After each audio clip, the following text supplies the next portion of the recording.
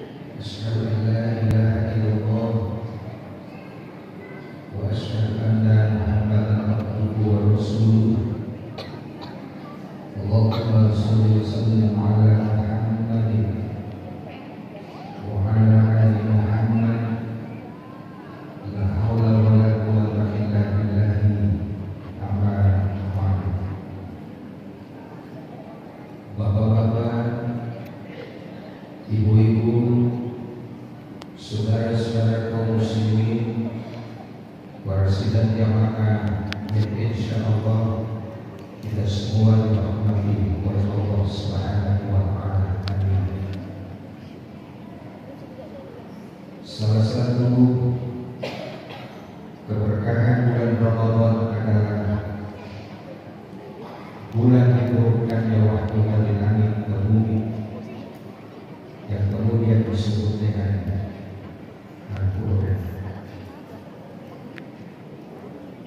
Al-Quran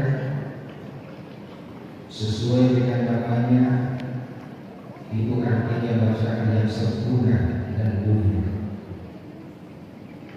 Betapa mulianya Al-Quran bacaan bagi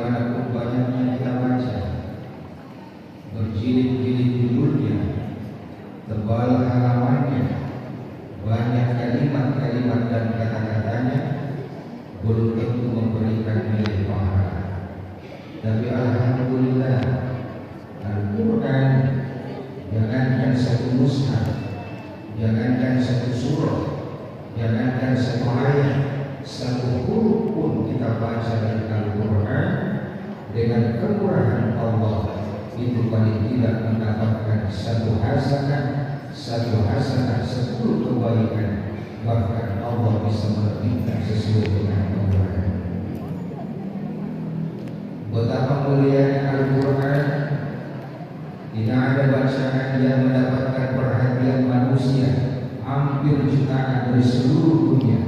kecuali Al-Quran. Betapa mulianya Al-Quran, tidak ada bacaan yang dibaca mulai dari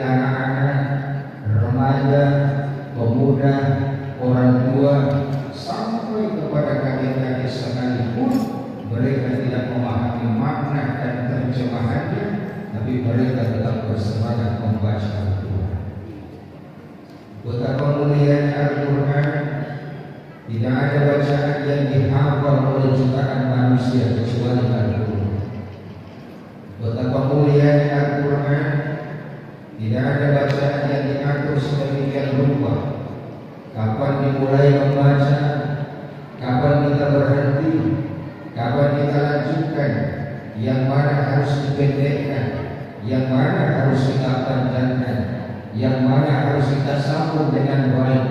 Biarkan itu Membacanya pun diatur adabnya. Inilah kemuliaan daripada Al-Quran. Betapa mulianya Al-Quran Hanya orang-orang mulia yang mampu memuliakan Dan hanya orang-orang yang hina yang mau menghina Al-Quran. Hadir yang dimuliakan oleh Allah Subhanahu wa Ta'ala sesuai dengan fungsi utamanya adalah hudan linnas wal furqan.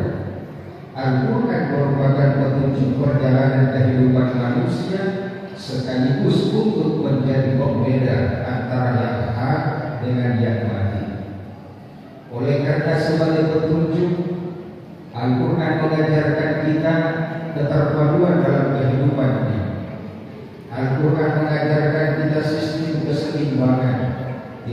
cenderung kepada dunia tapi juga harus mengejar kehidupan akhir.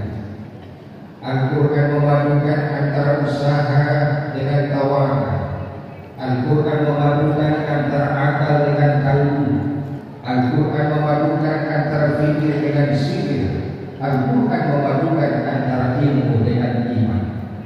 Maka orang-orang yang hanya mengandalkan usaha lalu kemudian dia tidak tahu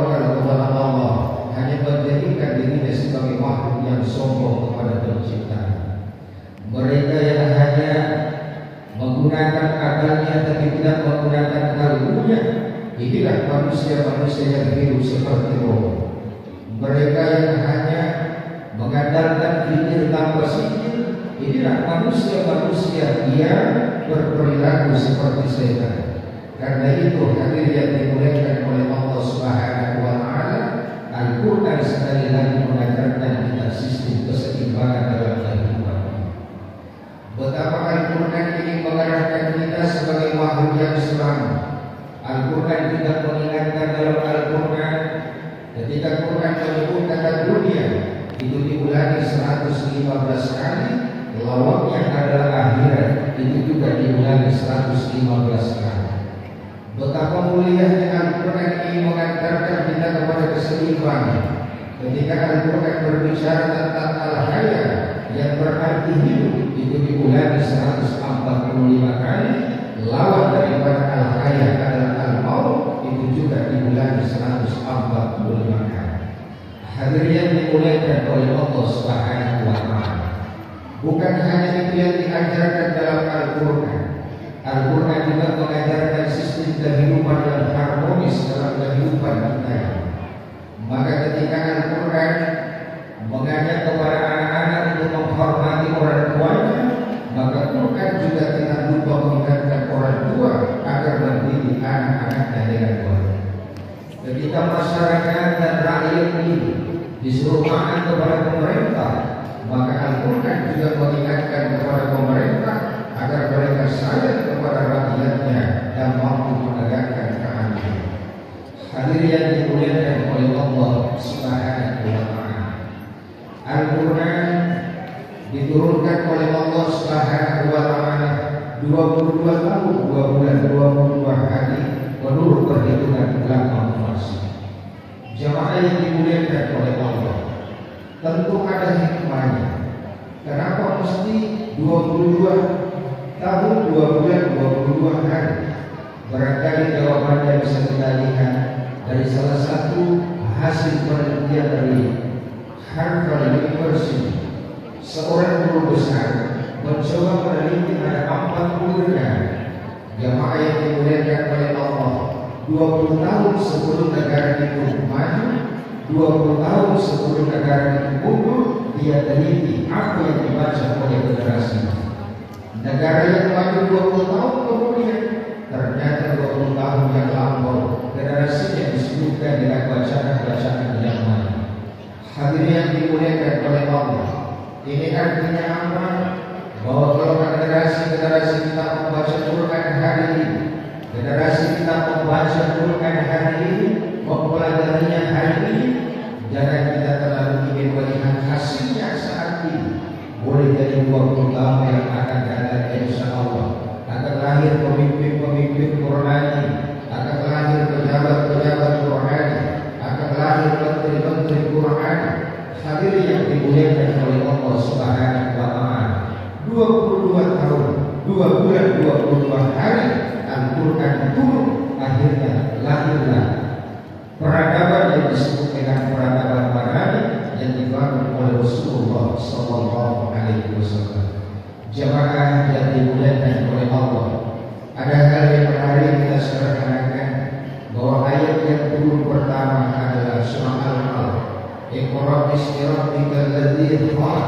Khalaqal insana min 'alaq. Iqra rabbukal akram.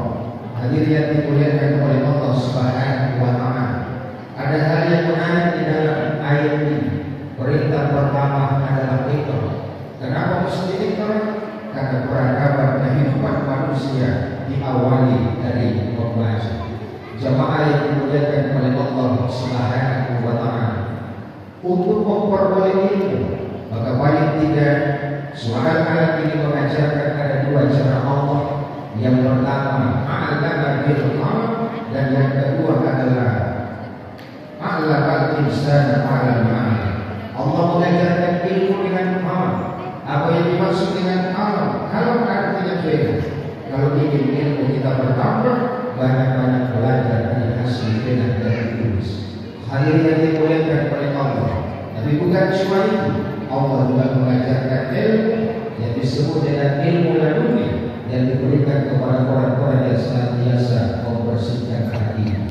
Hadirnya yang dimuliakan terakhir, Al-Quran bukan hanya sekedar petunjuk dalam mengarungi kehidupan ini, tapi Al-Quran juga punya fungsi sebagai asyifat penyembuh ketika kita menghadapi persoalan-persoalan yang berkaitan dengan kesehatan, terutama kesehatan spiritual. Sebuah riwayat yang saya sampaikan menutup jumpa kita hari ini. Ibnu Abbas adalah sahabat Rasulullah Sallallahu Alaihi Wasallam. Sebuah hari ada orang yang datang konsultasi. Wahai Ibnu Abbas, akhir-akhir ini makan saya tidak enak, tidur saya tidak enak, perasaan saya selalu galau. Kira-kira apa yang harus saya lakukan?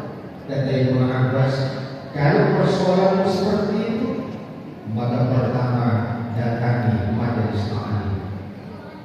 Kalau sudah menghadapi mendatangi majelis ta'lim, hatimu masih galau, datangi Al-Quran, baca atau dengarkan Al-Quran. Tapi kalau hatimu masih galau, datangi Allah di tempat yang suci, mohon agar diberikan petunjuk. Kalau engkau sudah mendatangi majelis ta'lim, hatimu masih galau, Kau datangi Al-Quran, hatimu singgah. Kau datangi Allah dengan maksud hatimu tinggal. Maka tolong kita kepada Allah agar supaya hatimu yang engkau pakai hari ini diganti oleh Allah karena itu bukan hatimu lagi. Jamaah yang dimuliakan Allah, mudah-mudahan ada manfaatnya. Selamat bertarawih. Bila itu kita hidayah bersih kepada Allah.